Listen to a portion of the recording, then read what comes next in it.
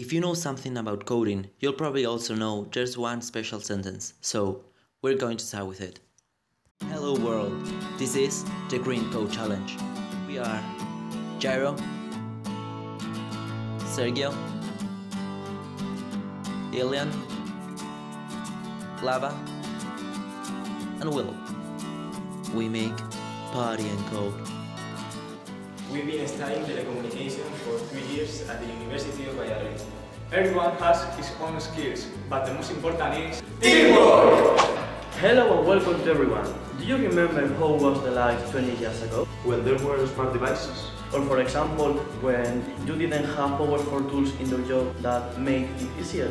Yes, and we couldn't browse the internet or play or shop online. So if you can control the software, We will be able to make a better future. Green code, do you know what it is? The first time I hear it, I could make an idea, but I didn't know the importance of a program efficiency in terms of ecology and how much energy could be saved just by changing a part of the code of a program. This is the goal of the Green Code Challenge, to promote eco-conception and eco-design.